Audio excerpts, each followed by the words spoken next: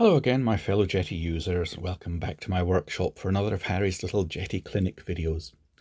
And in this one, I'm going to deal with a request I've had for some help uh, for a chap who wants to program his Beech Stagger Wing, which is a uh, interesting biplane. And he has got two aileron servos on the top wing and two flaperon servos on the bottom wing but when he switches it to the flaps down, he wants the flaperon servos to stop acting as aileron and just be the flaps. And he also mentioned he's using an assist receiver.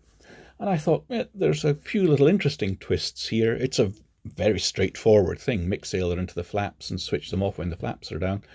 But the assist brings in some little options for you to think about as well. Uh, and you don't necessarily have to switch the flaps off completely, uh, sorry, the ailerons off completely in flaperon when you're in, say, takeoff flap mode. So uh, we'll do a quick little run through of some of the options you've got, how to use them, uh, and a couple of the wrinkles in setting up the assist so that you actually get what you want and don't sort of sit there scratching your head wondering why things are or aren't working with your flaperons and the um, assist gyro. So let's whiz through the model and take a look. I'm going to assume that the flaps have three positions, which is flaps up for normal flight, uh, partial flap for takeoff, and full flap for landing on a three position switch. As always, I will program them using flight modes because I think it's by far the better way to do it because it allows you to have separate elevator trim on the flight modes.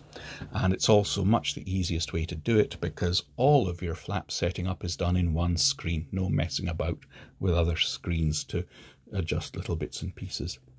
So let's take a look. Let's go in right from scratch. Model, uh, new model. We'll call it Model C for the moment. On we go. None of that.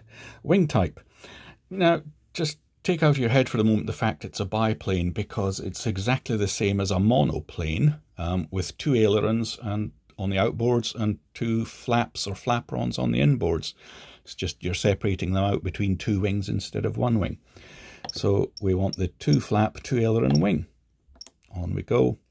Uh, functions assignment. Uh, we take out the control for the flaps because we're going to be doing it by flight mode. So we need the flap function there because that will generate as well the servos when we get to the next screen. What else do we need? Well, we need to control the assist. So we can create um, again.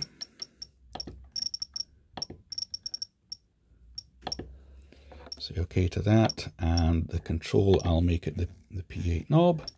Okay. I need, uh, what else do I need? I need the assist mode. Uh, and uh, you don't always need a mode switch. You can lock it permanently in mode 1.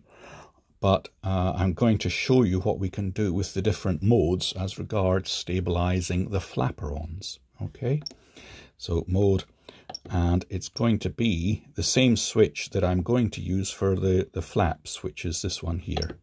So I'll move that.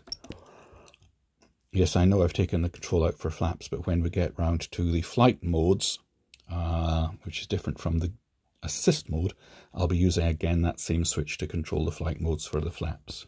Let's move the camera along a little bit. There we go. Uh, and what else do I want? Oh yes, normally I would also create a function with the control with my gyro on off switch here, but we don't need it for the, the purpose of this demonstration. Okay, on we go. And it assigns the servos automatically. I'm only using a little uh, 6 assist um, which means it still picks up all 16 or 24 channels. Uh, this, the fact it's got six on it means it only has six servo sockets for the outputs. Uh, but that's fine because I only need to demonstrate up as far as aileron 2. So aileron 1, flap 1, flap 2, aileron 2, up to channel 5, that's fine. So the 6 will cope with this. And then I'm using channels above that for the gain and the mode. Okay, on we go. Create and activate. Yes. Say okay to that. Pair the receivers now. Yes. I'll switch it on. Really use it. Yes. Off we go. Initialized. Armed. Thank you. Lovely. And here is our little simulated model. Now, uh, I say this is for a Beech Stagger Wing, but it could be a monoplane where we've got left aileron and right aileron on the outers, flaps on the inners, or for this case of a, a biplane stagger wing, you know, these are going to be, say, the bottom wing, and these will be on the top wing. Doesn't matter. As far as the radio is concerned, it's all the same thing. Okay. Now back in here, what will we do? Well, uh, we want to mix the ailerons to the flaps. And let's go in here, fine tuning, free mixes, add from aileron to flap, advanced, come down, I'll give it a master value of 100% to start with. And the switch will be uh, with the flaps in the up position. So I'll put it to the mid position. Sorry, I've got a bit of a jittery servo there. Come along here, move my switch up, there we are. So the mix will be on when the switch is in the flaps up position, but it will be off in any other position. There we go. So let's come and have a look at the servos. The flaps are in the up position. Everything works like that. I'll move the flap switch to the mid position. And now you don't get mixing to the flaperon. Full flap, no mixing. Yep. Notice nothing's happening with the flap servos themselves when I move the flaps because we haven't programmed those in yet. That's fine. That proves that point.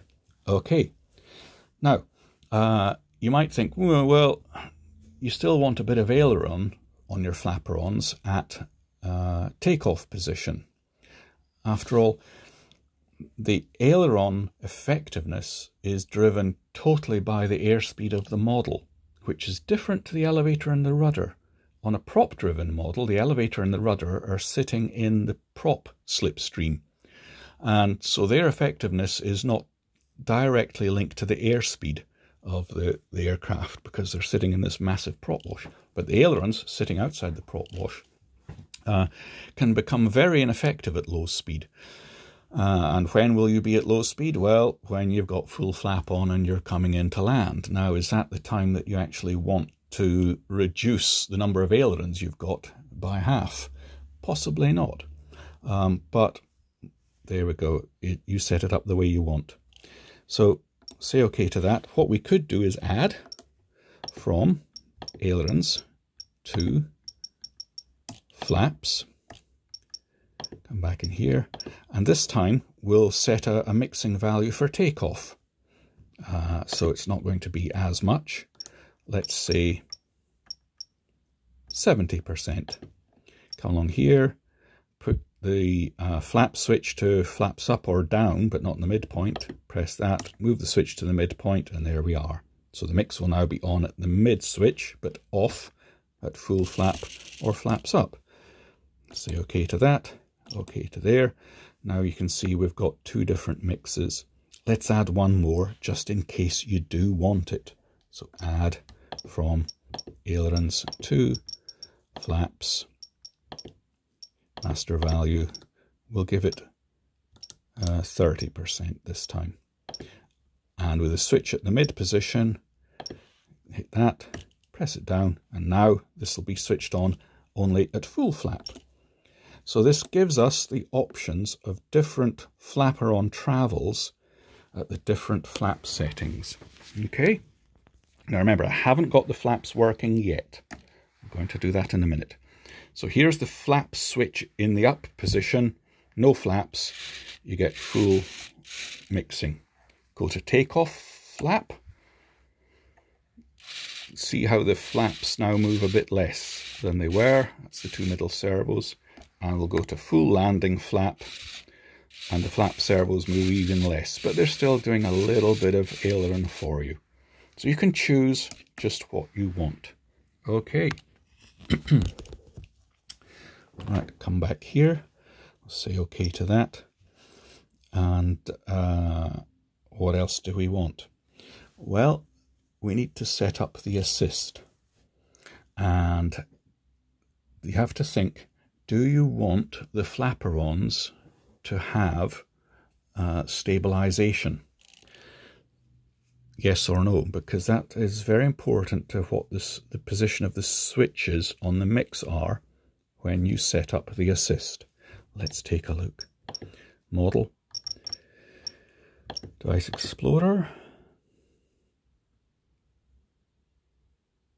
configuration. Now I've already been through the quick wizard and such like. Here's your stabilization settings, your channel assignment. Um, so let's do the channel assignment. Um, assign the primary flight channels. I'll only bother with the ailerons at the moment because that's the only one we're dealing with here. So calibrate the ailerons. Oh, help if I press the next rocket fully to the right. Yep, there we go. Okay, what else will we need? I will need the mode switching. So assign the additional channels. Uh, flight mode switch. Cleared out to show you. Edit that. And now I'm going to move that switch that we will be using for the flaps. Now you'll notice that I haven't yet programmed the flaps and that's very deliberate because what the assist is looking for is a channel that changes its value when I move the switch and it will pick the lowest numbered channel. Now if it already set up the flaps, it doesn't matter whether you're using the flap flight modes or other, direct control, whatever, the, the flaps are, if we remember rightly on this, channels 3 and 4. So when we moved the switch, if we'd already set up the flaps, the assist would have seen the lowest numbered channel that moved was channel 3. So it would have picked channel 3 as the flight mode channel, which is not necessarily what you want. As it happens, it would go the same way because we're using the same switch. But uh, do bear in mind that if you're using a different switch for your flight modes than the channel you're after, yeah, you can run into problems there. Okay, and I can come down to roll tuning uh, channel 8 it's already there. Done it. Okay. Now then I'll pop back into here. Flight modes is what we're after. Okay here's our three assist modes. Not the transmitter flight modes but the assist flight modes. Yes, I know it's confusing. So we'll try and talk about transmitter flight modes and assist modes. This is assist modes, mode 1, 2 and 3. Um, and I've set all three of them to normal damping because that's what we would normally use as the uh, stabilization mode. And because we've now set this switch, I'll just move the camera a little bit, this switch, which I will be using for flaps, as the assist mode switch, we can see the active mode is 1. If I move the switch, active mode 2, which is that one, active mode 3, it's that one. Okay, if we come across here and move the assist, we'll see that all servos are stabilized. If you never want the flaps to be stabilized, you can do what we've done and then follow what I'm about to do to switch them off in certain flight modes or uh, have the mixing switched off when you do the aileron stick calibration because then it won't see those channels move and it will never stabilize them. It simply won't give you the option. But with the mixing switched on and switched on at full rate, not the takeoff or landing rate, but switched on at full rate, it gives us full stabilization on all of them. If I'd had takeoff or landing uh, switched in the mix, then of course these flap servos were getting much reduced travels. And so the assist would have picked up on that and given them much reduced travels with the gain. But because I had switched on at full, it's picked up full stabilization on all of them. Okay, that's great. We're putting along in normal flight, but uh, we don't want the gyro trying to massively move the flaperons when we're in takeoff or landing flap. Just in the same way that we reduced the mixer rate, uh, can we do anything about the gain in takeoff or landing mode in the assist? No. We can switch it off for the flaperon servos, but we can't give them a reduced gain. There is a roll gain, and that's it. Uh, we can change the roll gain, but it will apply to the ailerons as well as the flaperons. So what we could do is say, right, mode 1, switch up, normal fly around, everything damped nicely. Mode 2, we'll leave the stabilization on for the flaperons as well. But mode 3, which is the switch all the way down, which for me is landing flap, this one here, I don't want the gyro trying to stabilize the flaperons as well as the ailerons, only the ailerons. So we come across here to edit the mode and we scroll down past here, we get to this table and it tells you here what it's going to try and stabilize for each of the channels. So here we go. In this mode, you can see I've been playing with it already in a previous uh, test out. These are the settings inside the assist, not the transmitter uh, you can switch off the flap. Just come into it, press the button to toggle it on or off. Yeah, so we can see here we're in stabilization mode 3. If I move to, which is full landing flap, if I move to stabilization mode 2, I've still got them switched off. Ah, of course it's not switching, it's because we went into that menu mode 3, we've switched them off okay. If uh, it annoys me that when you press escape it jumps all the way out of the menu. You've got to remember to press the back button. Okay. If we go to mode 2 which was the switch in the middle I edit that one come down here into the table we can leave them switched on for the roll. And of course uh, ooh, remember to go to the back button. There we go. We will have stabilization for the flaperons on in that mode as well. Okay, so what's the effect of that? Let's come across here. Okay, flaps are in the up position. So we've got the mixing at full rate and stabilization with the gyro working normally. I'll go to landing flap. Mixing is partial and stabilization is still there at full rate. I'll go to landing flap. Mixing is much smaller and the stabilization now is off altogether. Okay. Now that we've done all that, we can finally set up the flaps themselves. So we can come out of there and go to fine tuning, flight modes, add yes, add yes come up here, I'll say that this one is landing flap. I'll just call it LA for the moment, save time. Come across here, put my switch to the middle, switch down, okay.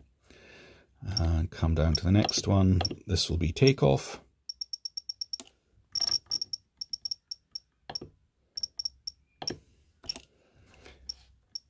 Move the switch to takeoff, Okay, that's my uh, flight mode set. I'm not going to bother with a, a, slowing this time in the delay, but in, in normal circumstances I would. Digital trim, you would set your elevator to separate, or I do anyway, so that I now have separate trims for each flap mode. Sorts that out. And then we can come down to butterfly flaps. Set the control to log max. So go into logical switches and go down to the bottom, log max. There we go. Okay. Log switch max is like just saying on. That's it. Okay, then come across and change the mode to separate. If you change the mode to separate first and then go across and set it to control log max, it'll only do it in the mode that you're in at the time. So you'd have to go through all your modes independently setting log max, otherwise you'll you'll find it's gone off in the other modes. So change to mode S. Okay, and now we can come down to our flaps adjustments. Uh, default flight mode, no flaps. We'll go to takeoff flight mode. There we are. We'll give it some value of flap. Uh, takeoff mode, so we'll set some flap value. Let's say 30%. And then we'll go to landing, landing mode, and we'll set it 100%. Okay, so now we have the final thing. Flaps are up, everything's mixing at 100%, stabilization active. Okay, flaps to take off. Mixing still there for the flaperons, but it is reduced. Stabilization still active. Now we'll come to landing flap. No flaperon mix from the ailerons. Or sorry, there is. Yes, we left it at what? It was a low percent value. But if you don't put a mixer in there, then you won't get it at all, remember? Yep. And stabilization is active only on the ailerons, not on the flaps. And there you go.